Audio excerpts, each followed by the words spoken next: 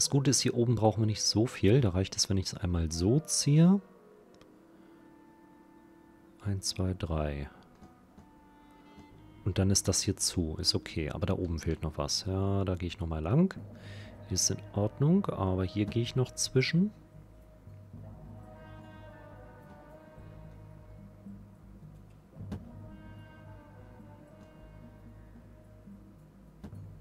So, das ist fest.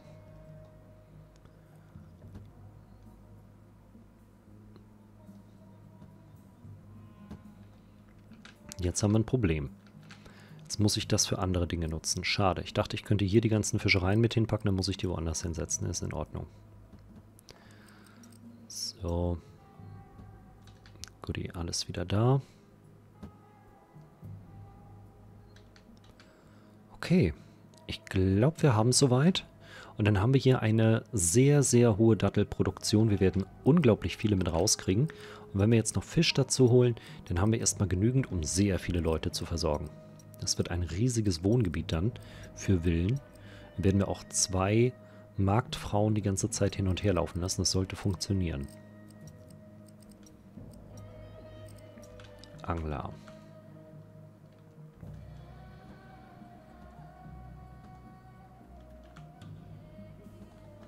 So, fünf Stück. Wenn das nicht reicht, weiß ich auch nicht. Und ein Lager noch. Da kann der Fisch rein. Hier kommen die Datteln hin.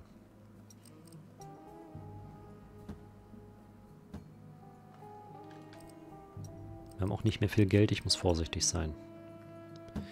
Das Schöne ist, dass man im Prinzip so wie bei den alten Teilen natürlich unterstützt wird mit dem Geld, sollte es wirklich zu Neige gehen, aber man bekommt nicht viel. Mir ist das leider einmal passiert, weil ich nicht äh, vorsichtig genug war und Dinge importiert habe, die ich mir eigentlich noch gar nicht leisten konnte. Und dann habe ich irgendwie 1500 oder so nochmal oben drauf gekriegt, um das wieder ein bisschen auszugleichen. Das ging. Das war in Ordnung. Datteln, Datteln. Da kommt der Fisch rein, ist okay. So, dann müssen wir das Ganze noch irgendwie miteinander verknüpfen. So wie ich baue mal sicherheitshalber hier schon eine Feuerwache. Ich habe so ein bisschen Angst, dass das sonst abfackelt. Da habe ich keinen Bock drauf. Dann können hier eigentlich auch die Märkte mit hin und dann kommen hier die Leute ran. Das ist, glaube ich, ganz in Ordnung. Das Gute ist, dass die Gärten keinen Hehl daraus machen, ob das hier jetzt wirklich äh, Farmland ist oder nicht. Gärten wachsen trotzdem. Wir lassen ein paar Plätze frei. Und dann geht's los, dass wir Villen bauen müssen. Aber die Villen sind teuer, verdammt. Ich könnte im Prinzip jetzt erstmal bloß für ein kleines Wohngebiet sorgen. Von insgesamt 1, 2, 3, 4, 5. Dann sind hier jetzt 10 Leute mit untergebracht. Das sind nur 1, 2, 3, 4. Wieso verzähle ich mich da immer? 5.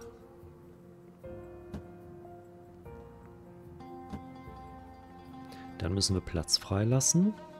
So, weil da die Gärten mit reinkommen. Ach nee, so.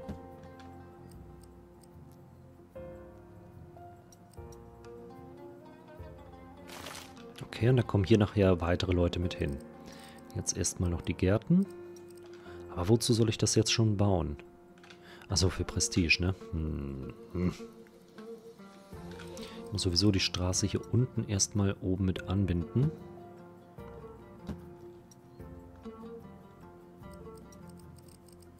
kann schon mal einen Heiler mit hinstellen, aber der bringt mir jetzt noch nicht viel.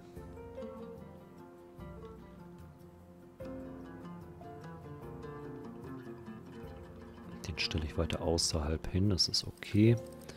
Staubige Straße mit ran. Und dann werden wir hier nämlich den einen Marktplatz haben, der nur Datteln vertickt. Obwohl, wir können hier auch die Dame mit dem Fisch einstellen. Das ist kein Problem. Ich muss bloß den Fisch nachher mit rüberbringen. Dann stellen wir das Lagerhaus für Fisch auch hier vorne mit hin. Nee, das ist doof. Dann kann ich die Gärten nicht mit reinbringen. Oder wir nehmen kleinere Gärten. Das sollte reichen, um die Umweltverschmutzung unter 9, nee, unter 8 zu halten. Denn 8 ist das höchste. Ist das Maximum, das die haben dürfen. Ohne dass sie durchdrehen. Das geht. 5,9, völlig in Ordnung. Und dann können wir hier noch ein paar Gärten hinballern und alles ist gut. Okay, du kriegst gleich Fisch. Ich brauche noch eine Karawanserei. Die den Fisch von hier nach da bringt. Theoretisch wäre ein zweiter Marktplatz gut, der dann ebenfalls noch Fisch liefert.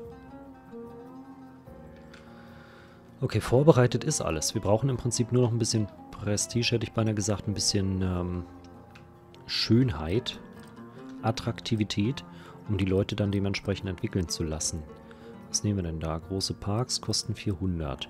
Kleine Palme ist aber auch wirklich klein, würde dann auch 400 kosten, wenn ich vier Stück nebeneinander packe. Also kann ich gleich einen großen Park bauen.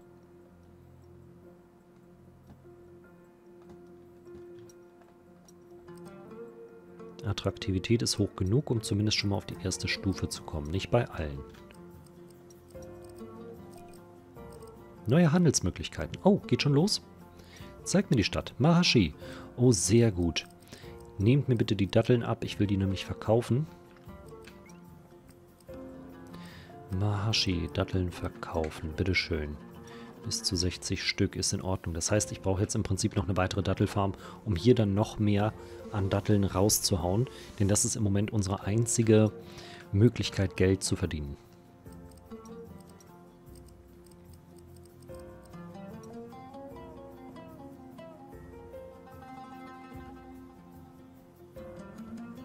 So. Datteln. Dann hier bitte einmal abreißen, damit wir die Straße zum Lagerhaus ziehen können. Dann brauchen wir die Bewässerungsgräben, die nochmal rumführen.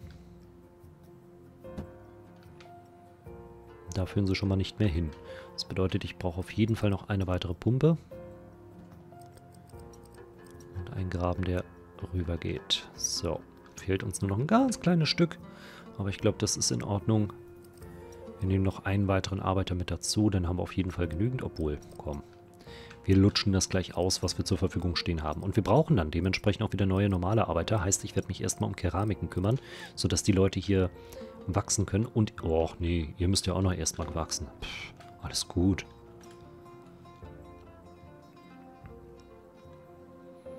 So, um euch kümmere ich mich später. Ihr seid soweit erstmal am Bauen.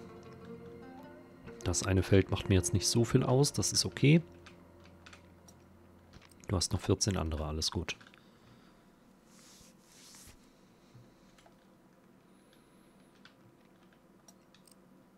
4,5. Das ist noch zu wenig. Dann setzen wir jetzt hier kleinere Bäume mit dran. Aber es gibt keine kleinen Bäume, die große Attraktivität bringen. Deswegen nehmen wir jetzt die Stelen. Drei Stück für 450. Und dann seid ihr definitiv erstmal glücklich.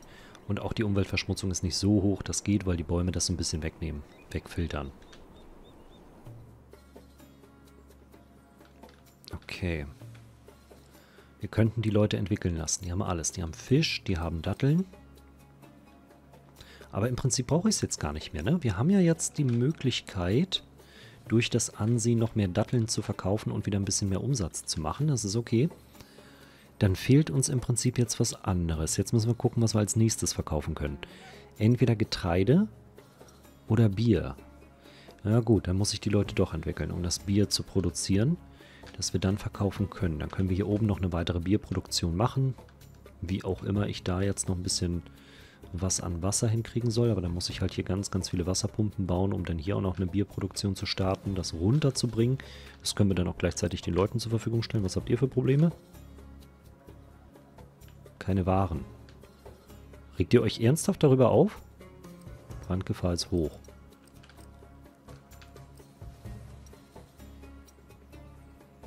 Das Haus war zu lange ohne Vorräte, was einen Anstieg des Risikos verursachte. Ah. Seit wann ist das denn der Fall? Na gut, ist ja in Ordnung. Ihr bekommt einmal Brot, ihr bekommt einmal Milch.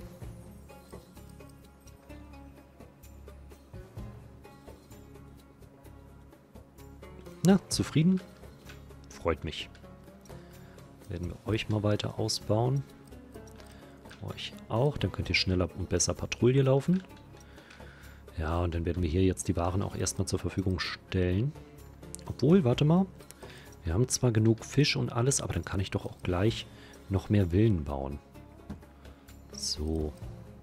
Ein bisschen Geld ist ja noch übrig gewesen.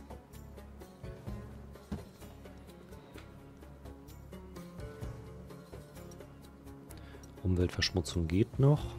Gerade so. Darf nicht über 8 sein. Wir sind bei 8,3. Aber dann stelle ich hier noch zwei Plätze, Parks, wie auch immer mit hin. Die die Umweltverschmutzung rausfiltern. 6,2. Alles ist wieder gut.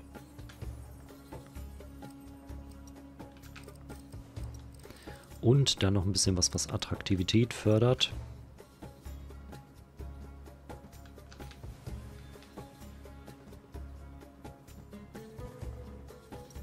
Ist die Attraktivität? Aktuell bei 6, 4,8. 4,8 ist zu wenig. 12,6 ist super, aber auch nur wegen den Stelen hier unten. Das heißt, oben fehlt uns noch ein bisschen Attraktivität, dann zämme ich da jetzt noch ein paar Plätze mit hin, die sind relativ günstig und bringen ja trotzdem was. So, 9,1. Wunderbar. Das heißt, die können jetzt alle wachsen und wir hätten schon mal die ersten Stadtbewohner. Und dann müssten wir auch schon die Stadtwachen irgendwo mit hinsetzen, aber das machen wir dann auch später. Heißt, du bekommst jetzt deine erste Route. Einmal hier rum, dann da zurück, da wieder hoch und da wieder zurück. Ja, wie rum du läufst, ist letztendlich egal. Hauptsache, du kommst am Ziel an und versorgst alle. Der Rest ist mir Wurst.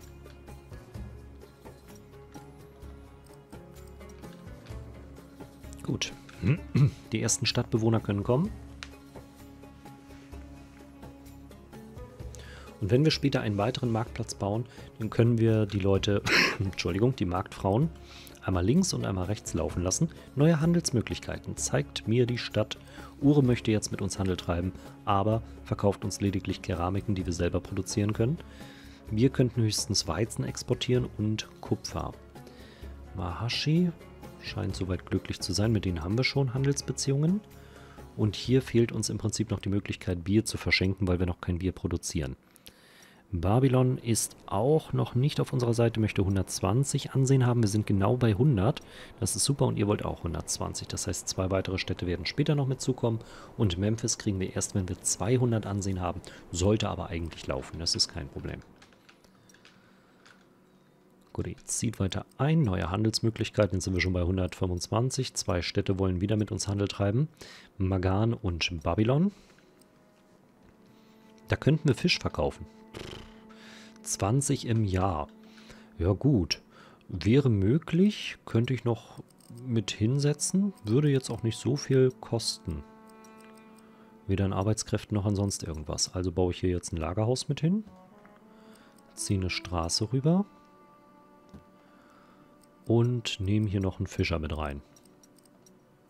Der nur für den Verkauf, für ein bisschen Fisch arbeitet es ist nicht viel. Und wenn wir einen Fischer haben, der da den ganzen Tag arbeitet, mein Gott, dann ist das so. Ach so, passt gar nicht so richtig, ne?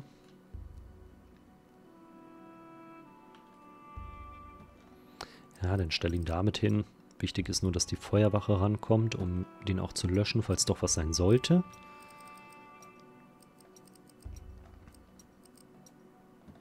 Okay, Fisch kommt, so langsam tut mir alles weh. Vom nur rumsitzen. Ah, das ist am Laufen. Die Leute sind zufrieden. Kriegen jede Menge Zeug. Das heißt, ihr seid jetzt schon mal da und könnt für die Sicherheit der Stadt sorgen, indem wir hier Stadtwachen mit aufbauen. Stadtwache Nummer 1, Stadtwache Nummer 2. Da stelle ich jetzt erstmal keine mit hin, aber hier unten muss definitiv noch eine ran. Stadtwache Nummer 3. So, wir brauchen mehr. Nicht nur Stadtwachen, sondern auch mehr von den Stadtbewohnern, um dementsprechend noch das ein oder andere mehr machen zu können. Heißt, ich baue jetzt hier nochmal eine weitere Riege an Villen mit auf.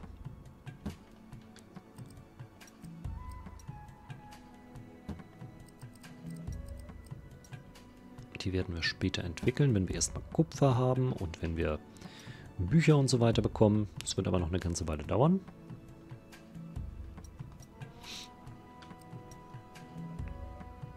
Eigentlich dumm, ne? Ich hätte hier noch einen Marktplatz gebrauchen können.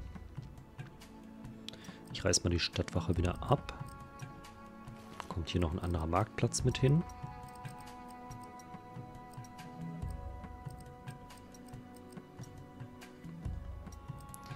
Der ebenfalls Datteln und Fisch rüberbringt. Du wirst diese Häuser versorgen.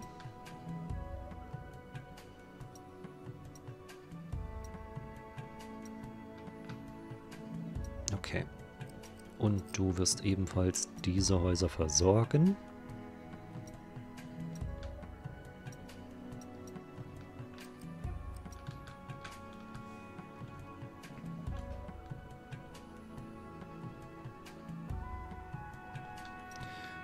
Brauchen noch Attraktivität. Wir haben allerdings nicht mehr so viel Geld. Wir müssen ein bisschen vorsichtig sein. Auch wenn wir jetzt natürlich Fisch verkaufen können. Ich werde die Handelsroute schon mal mit Babylon in die Wege leiten. Babylon brauchen wir sowieso. Die werden uns äh, später die rituellen Gegenstände abkaufen. Ich wollte gerade sagen, was machen die eigentlich? jetzt weiß ich es wieder. Ähm, Babylon, Babylon, Babylon. Euch verkaufen wir 20 Fische im Jahr. Babylon bittet um einen Gefallen. Na denn, bitteschön. Dann war es das jetzt mit dem Fisch. Sehr schön. Hat sich ja voll gelohnt. ich brauche Kohle. Und mehr Attraktivität. Das bedeutet... Ja, dann stellen wir hier jetzt große Palmen mit hin. Neue Leute kommen. Neue Stadtbewohner sind da und die Kriminalität beginnt zu steigen. Das ist okay. Jetzt wollte ich noch eine neue Stadtwache hier mit implementieren. Gleich zwei Leute, die durch die Gegend laufen. Und dann können wir uns um die Bierproduktion kümmern und darum kümmern, das Bier auch zu verkaufen. Und im Anschluss müssen wir uns unbedingt um die Götter bemühen. Gerade Enlil, das ist einer meiner wichtigsten Götter überhaupt. Der soll ja natürlich glücklich sein. Und nur der Stadtgott, der kann auch wütend werden und dementsprechend noch ein paar Katastrophen über einen zünden.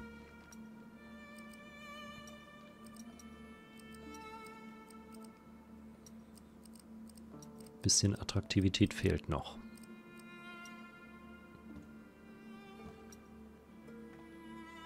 Gut, jetzt seid ihr bei 13,6. Das reicht definitiv bis zur letzten Stufe. Auch ihr seid bei 7,8. Das kann ich noch erweitern, indem ich noch was dazwischen pflanze. Das ist okay. Wichtig war mir bloß, dass wir die erste Stufe definitiv mit rankriegen. Jetzt haben wir 510 Arbeitslose, mit denen wir schon mal Bier produzieren können. Ihr würdet dadurch aber nicht aufsteigen. Das ist ein Problem. Das heißt, wir werden uns erstmal wahrscheinlich um Kupfer kümmern, dass wir das kriegen und euch dann noch weiter aufstufen können, um dann dementsprechend irgendwann mal mm, mit der Bierproduktion nicht nur diese Leute hier weiter aufzustufen, sondern auch noch zu verbessern. Aber jetzt fällt mir gerade ein, wir haben ja noch nicht mal Keramiken. Und das ist ein Problem. Ihr werdet erstmal weitere Arbeitskräfte dazu kriegen. Guti, sodass wir immer genügend Brot haben, das wir dann den Leuten zur Verfügung stellen können. Auch ihr seid immer fleißig dabei, Milch zu produzieren, sodass die niemals verhungern werden. Und jetzt muss ich mich darum kümmern, hier noch ein bisschen was mit anzubringen. Wisst ihr, was ich zusätzlich mache? Wir haben ja verschiedene Götter, die auch verschiedene äh, Umgebungen ähm, bereichern, aber eben auch global alles ändern. Hier heißt es, es gibt 5% niedrigere Löhne, das heißt, wir brauchen ihnen nicht so viel zu zahlen. Niedriger Verbrauch für Häuser an mittleres Niveau, das bedeutet, die ganzen unteren Gebäude sind jetzt auf jeden Fall schon mal nicht dabei, ähm, sehr viel zu verbrauchen und Sababa macht niedriges Kriminalitätsrisiko. Das ändern wir jetzt ab. Wir nehmen niedrigen Verbrauch für Häuser im niedrigen äh, Niveau. Das bedeutet, dass unsere Leute weniger von der Milch, weniger vom Brot und später auch von Keramiken und Wasser und so weiter verbrauchen. Das ist schon mal sehr gut. Und dann werden wir jetzt Keramiken produzieren, die an beide liefern lassen bin gerade am überlegen, wo ich das mache. Denn hier wollen wir auch noch andere Dinge verkaufen, ne? Wir verkaufen aktuell nur Datteln und Fisch und hier sollte eigentlich auch die Bierproduktion stattfinden. Dann wollte ich hier oben noch weitere Dinge machen, damit ich die hier so lang ziehen kann. Das heißt, dass wir die Keramiken mal weiter vorne produzieren. Dann kann ich hier später noch eine andere Produktion mit hinbauen, sodass dann noch mehr Leute entstehen, sollten wir noch weitere Leute benötigen in unserer Stadt. Das denke ich fast gar nicht mehr. Wenn wir die hier wirklich noch aufstufen mit Bier und allem drum und dran, die bräuchten im Prinzip noch die Tafeln, die können wir dann auch hier noch produzieren, dann geht es sowieso aufwärts. So, ein Lagerhaus für Keramiken. Nichts annehmen außer Keramiken. Wo sind sie? Da. Dann die Keramikwerkstatt. Ich immer mit meiner Shift-Taste. Machen wir sechs Stück. Das dürfte fürs erste reichen. Straße. Und dann brauchen wir auch noch sechsmal... Nee, nicht ein Lagerhaus. Sechsmal eine Lehmgrube. Drei, vier, fünf, sechs. Straße mit dazu. Wir brauchen die Keramiken nicht zu verkaufen. So viel ist sicher. So, das Schöne ist auch, dass wir hier jetzt den ärmlichen Marktplatz mit hinbauen können. Sagen dann, hey, Verkauf, nee, kein Bier. Verkauf Keramiken. Und dann können die nämlich von hier aus rüberlaufen und dann brauchen wir bloß die Karawanserei einmal mit rüber zu setzen und hier noch ein Lagerhaus mit hinzustellen. Das sollte eigentlich ausreichen.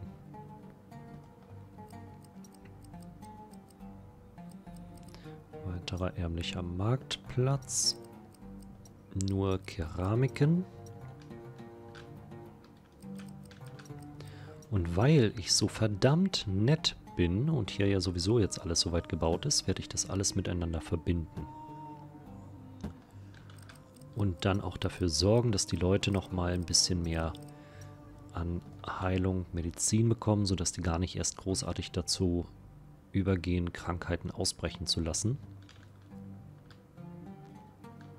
Bräuchten wir hier mittlerweile auch. Das sind sehr viele Gebäude.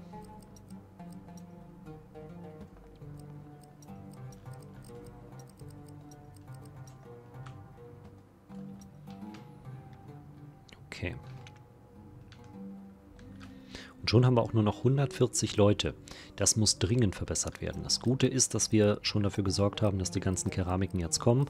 Und dann können wir mit der Karawanserei das einmal rüberbringen. Es läuft eigentlich ganz gut. Bitte einmal die Keramiken von hier einladen und da wieder ausladen, damit das dann auch in der Stadt oder in dem Stadtteil verteilt werden kann. Zur Not kann ich hier noch weitere Keramikwerkstätten mit hinbauen. Die können das Lager ebenfalls versorgen. Alles ist gut. Die sind auch schon fast voll. Das ist schön. Und wenn beide Lagerhäuser voll sind, die Märkte voll sind, dann können wir das Ganze freigeben. Das heißt, bis dahin werden wir jetzt erstmal noch mit den 105 Leuten, die noch übrig sind, klarkommen müssen. Sollte jetzt also ein Haus abfackeln, wird schon ein bisschen knapp. Meine Lieben, wir haben sehr viel erreicht, sehr viel geschafft. Ich freue mich jetzt schon wieder auf den nächsten Part. Vielen lieben Dank fürs Ansehen von Nebukadnezar. Hier in der achten Mission, die wir bisher noch nicht gespielt haben. Und bis gleich. Ah, etwas Ruhe, ein Kaffee und ein Video von Bisozimt ist alles, was ich brauche. Gut, dass ich ihn abonniert habe. Kommt jetzt das nächste Video.